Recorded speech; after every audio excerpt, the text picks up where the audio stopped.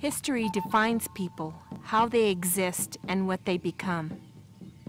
As time passes, people tend to select and retell golden stories as their history, glossing over dark times. Our past is the foundation of our future. Our continued existence depends upon an honest connection with our history. To grow as a people and honor those who have gone before us, we share our stories honestly and remember our native history. Remember that there was a time when uh, the traditional Ute homeland was all over the Rocky Mountain West and into the Great Basin. It was a vast area. And Utes were famous for being uh, traders and business people. The, the settlers and the Utes seemed to get along fairly well in, uh, during the early months of the uh, fort, but uh, I think eventually the Utes began to uh, somewhat regret having the colonists here. And he waged war against uh, Mormon settlers and pushed them out of four counties. Um, several cities were eliminated. Uh, he almost forced the Mormons out of the state of Utah. It's not an incident or a conflict that people want to remember. It was the frontier at its very worst. It has nothing uh, that celebrates our noble ancestors. It's about the gritty realities of history, conflict, life, and death. If, if, though, if these youth do not have a hero that comes from their legacy, that, you know, from their heritage, that they can grab onto and relate to, then it's, they're kind of lost.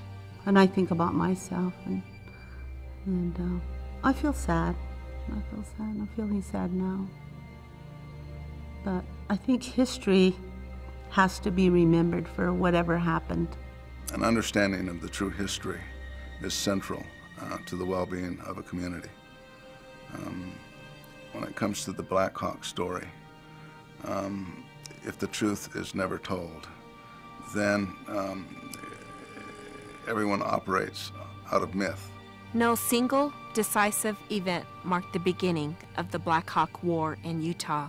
Historians, pawing through the ashes of the past, date it from April of 1865. In reality, the spark that set it off flared with the arrival of white settlers in the homelands of the Ute Indians in 1847. For decades, the intensity of the Black Hawk War affected the people of Utah, both native and immigrant, like no other conflict.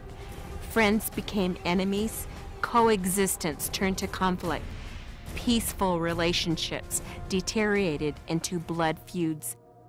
Through it all rode a man known to his people as Nooch, to the Mexicans as Antonga, to the Mormons as Black Hawk. Black Hawk changed history. Through omission and revision, his visionary influence on our past is all but forgotten, his effect on our time unrecognized by many. For over 10,000 years, tens of thousands of indigenous people populated what is now Utah and surrounding states. These Indian nations and their many bands were related through language, culture, and kinship. While there were times of war and conflict, the people were united through a spiritual connection to Mother Earth. While many shared the resources of the Salt Lake Valley, the area served primarily as an unclaimed buffer zone between local tribes. Among the most numerous in the region were the Utahs, or Ute Indians.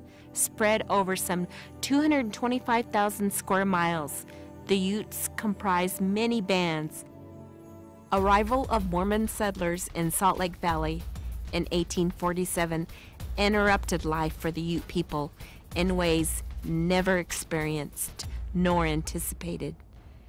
Determined to build an independent nation where his Latter day Saints could find protection from the hostility of the United States.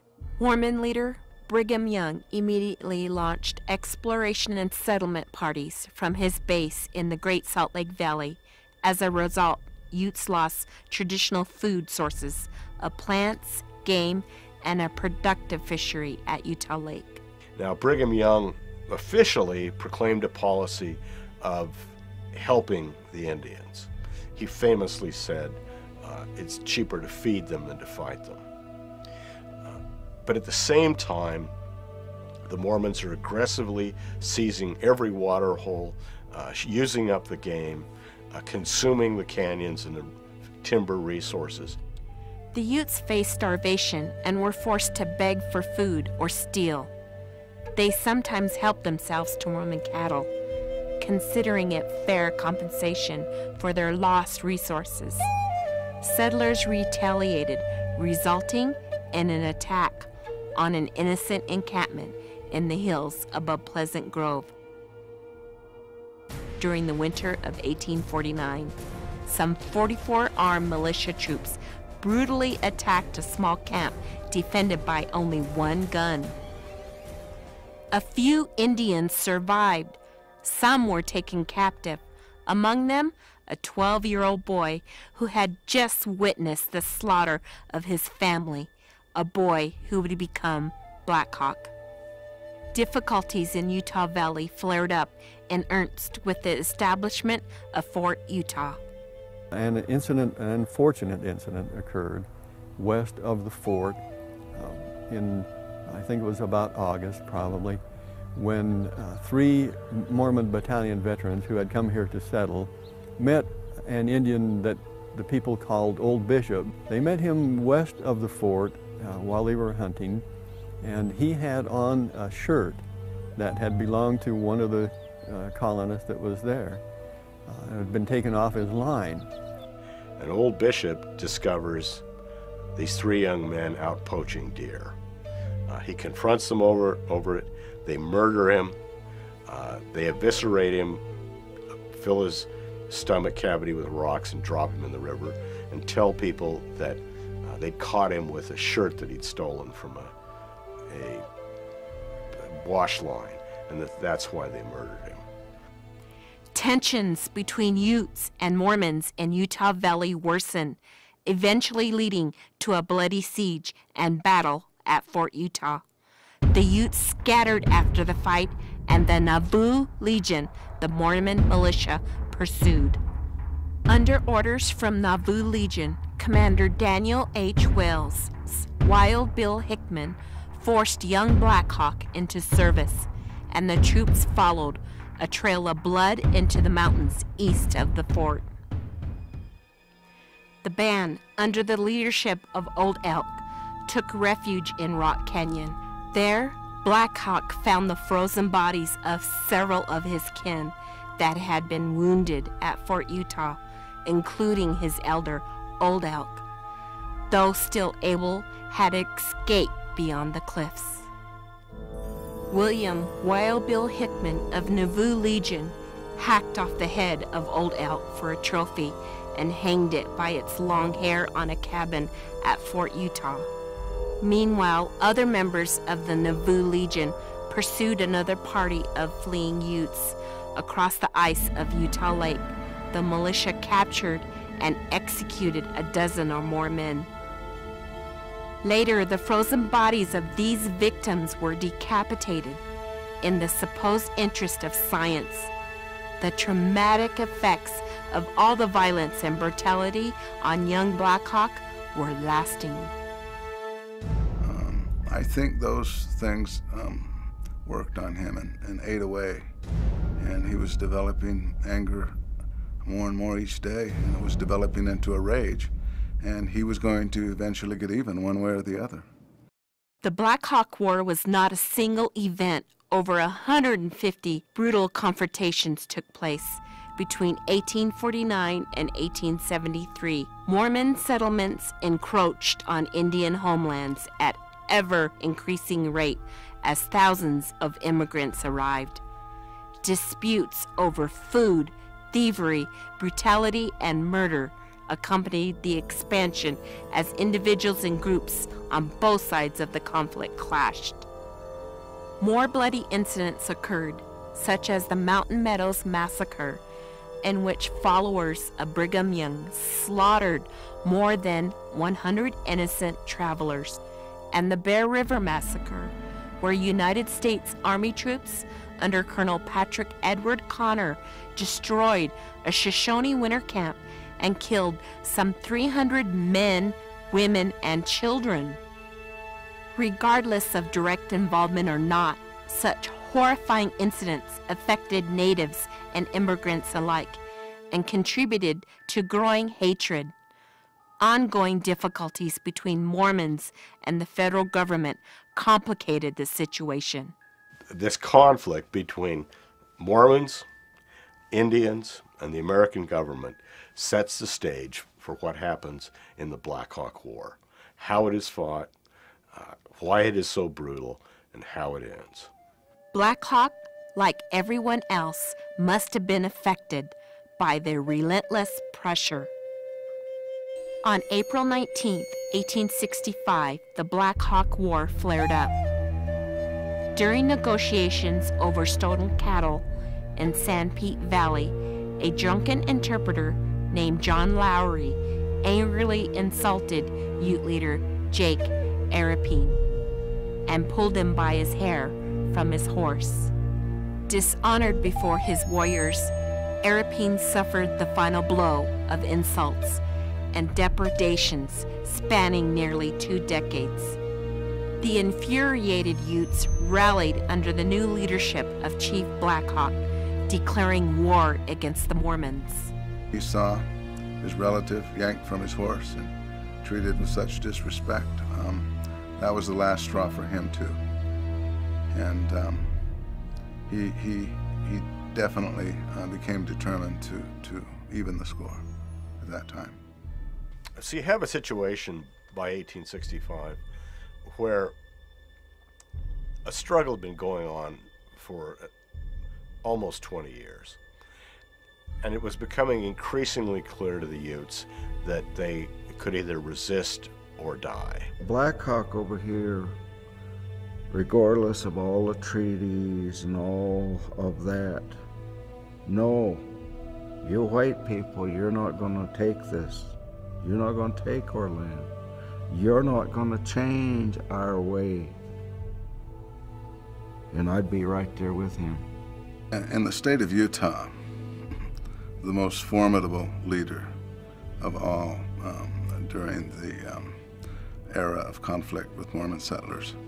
Uh, during that period, it had to be um, Black Hawk, Nooch. Um, he was formidable because he, he endured um, the suffering. He saw war, he saw his family um, die, most horrible deaths. He was part of that. For more than three years, Blackhawk and his allies launched guerrilla raids against Mormon settlements throughout Utah. It's very difficult to deal with what is truly a series of small atrocities, a border war, a, a, war between neighbors and people who lived with each other and knew each other very well, uh, a war between young men who'd grown up with a lot of Indian friends or a lot of Mormon friends. And that's what makes this history so painful. That's why the Black Hawk War is so difficult for both Indians and Mormons to remember. Black Hawk not only led Utes from many bands in the fight as a skillful leader, he negotiated participation by men from several tribes, including Paiute, Dene, Apaches, and the Shoshone.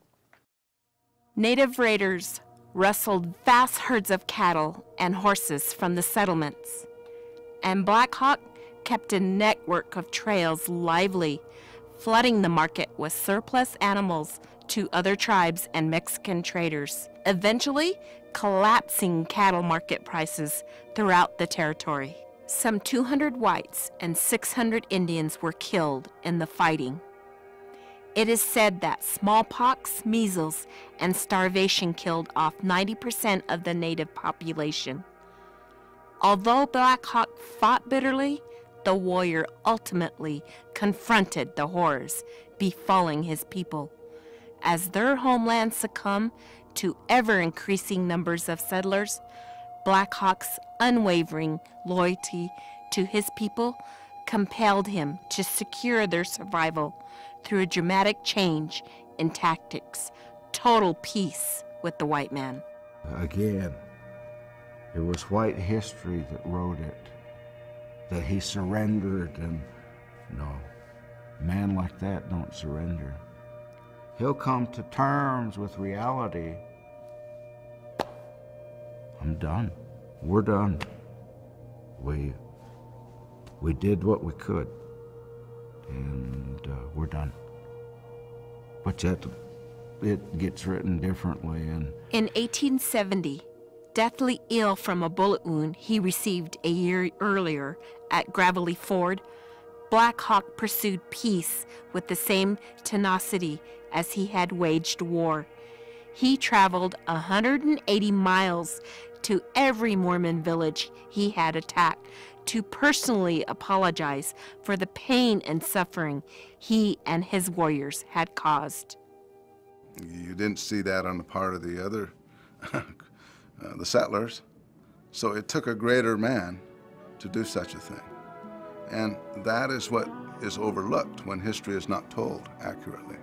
Black Hawk pleaded for forgiveness between whites and Indians and an end to the bloodshed. Early settlers referred to this journey as Black Hawk's mission of peace. And like any of us, I think you get to a point to where, well, it's like war, any war. You get in, you do what you gotta do. And maybe there's a family there and you've killed, killed their kids. You as a human, that, that thing that we all are, is going to at least make you say, I'm sorry. And he finally makes his way um, back to his um, homeland, uh, Spring Lake, the place where he was born. And that is the place where he, he passes on out of this world. His work is complete. He has fought the good fight, and he has ended his life in peace. But Black Hawk's journey had not yet ended. 40 years later, his remains are dug up and they're displayed in a hardware store for about two weeks. Later, they're taken to uh, Salt Lake City and they're retained in uh, LDS Church headquarters for another 60 years. In 1996, Black Hawk's remains returned to Spring Lake, but it took an act of Congress and the humanitarian efforts of a National Forest Service archaeologist and a Boy Scout.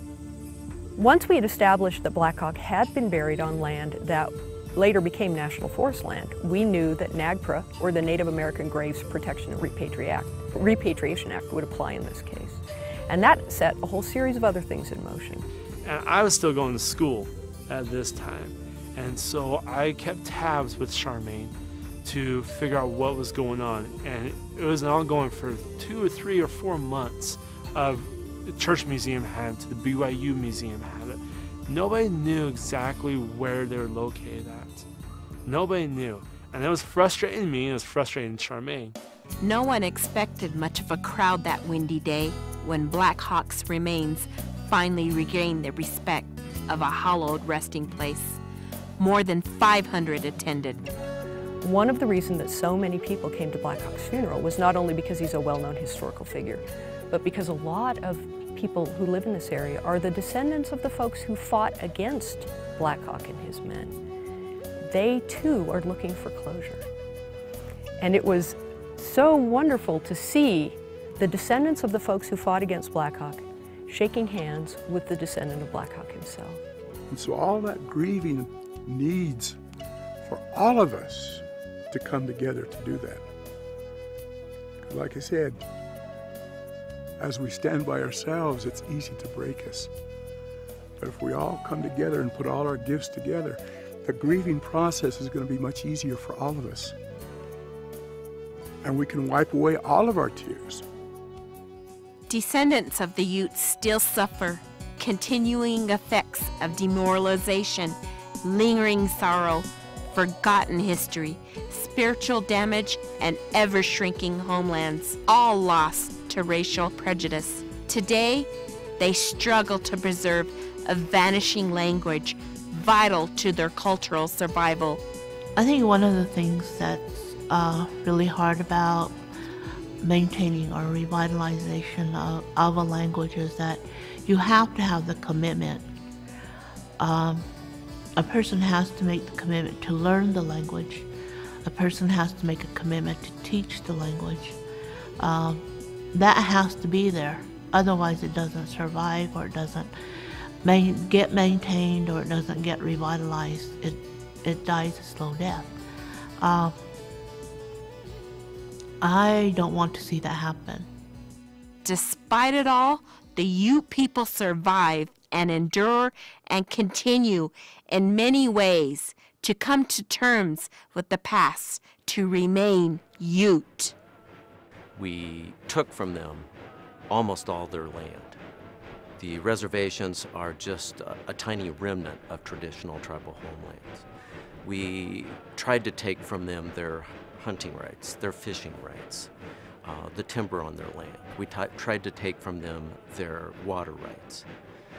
We tried to take from them their culture, their religion, their identity. And perhaps most importantly, we tried to take from them their freedom. And what is so amazing about this whole story is that we failed. We failed after hundreds of years of trying to take everything from American Indians. We failed to do that. They're still here.